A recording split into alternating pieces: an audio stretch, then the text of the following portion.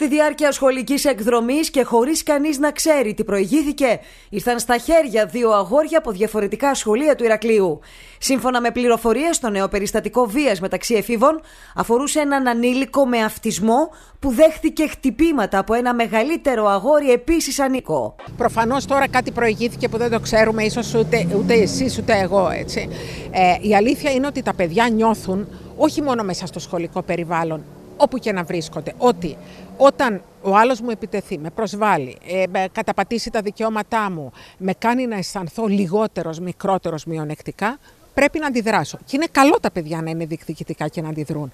Με λάθος τρόπο αντιδρούν πολλές φορές. Αν και η οικογένεια του παιδιού δεν θέλησε να κάνει μήνυση, στο σχολείο του μεγαλύτερου παιδιού που έγινε συμβούλιο, αποφασίστηκε η διήμερη αποβολή του με τη σχολική κοινότητα για μία ακόμη φορά να έρχεται αντιμέτωπη με ένα περιστατικό βίας από τα επαναλαμβανόμενα που σημειώνονται και στα σχολεία της Κρήτης. Δεν είναι η λύση η καταστολή. Η λύση είναι η πρόβλεψη, η λύση είναι η πρόληψη και η λύση είναι η αντιμετώπιση μέσα στο σχολικό περιβάλλον και εννοείται η βοήθεια της οικογένειας. Σύμφωνα πάντως με έρευνα που δημοσιεύτηκε στο περιοδικό του Κέντρου Προγραμματισμού και Οικονομικών Ερευνών, η Κρήτη ω περιφέρεια καταλαμβάνει ποσοστό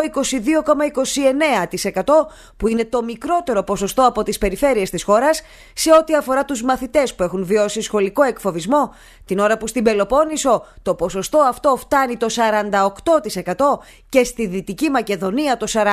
Ακριβώς επειδή η Κρήτη δεν αντιμετωπίζει ε, σημαντικά οικονομικά προβλήματα. Στην έρευνά μας δεν φαίνεται να αντιμετωπίζει ζητήματα φτώχειας ιδιαίτερα, γι' αυτό και το ποσοστό του σχολικού εκφοβισμού εκεί εμφανίζεται χαμηλότερο. Όπως προκύπτει από την έρευνα, συνολικά στη χώρα τα ποσοστά δείχνουν ότι 3 στους 10 μαθητές σε πανελλαδικό επίπεδο κατά το σχολικό έτος 22-23 υπήρξαν θύματα σχολικού εκφοβισμού, με μέλος της ερευνητικής ομάδας να σημειώνει ότι το ξεχωριστό σημείο της έρευνας αυτής ήταν η σύνδεση της βίας στα σχολεία με τη φτώχεια, την εθνικότητα και την οικογενειακή κατάσταση. Σύμφωνα με την κυρία Λεριού, ένα παιδί από φτωχή οικογένεια, μονογονεϊκή και με καταγωγή από άλλη χώρα, είναι συχνά πιο πιθανό να δεχθεί βία. Ο σχολικός εκφοβισμός είναι πιο έντονος ως φαινόμενο ε, μεταξύ φτωχών παιδιών.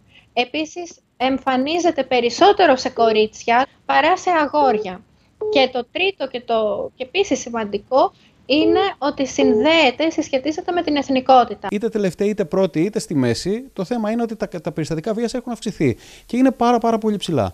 Άρα ε, οφείλει η κοινωνία και το κράτος να, να το κοιτάξει ουσιαστικά και όχι με μέτρα καταστολή. Σε ό,τι αφορά πάντως τα χαμηλά ποσοστά της Κρήτης, όπως επισημάνθηκε, πιθανά οφείλονται στο ότι πολλά από αυτά δεν δηλώνονται ποτέ η καθημερινότητα στο πεδίο, η καθημερινή επαφή δηλαδή με τα παιδιά, μας δίνει άλλα στοιχεία.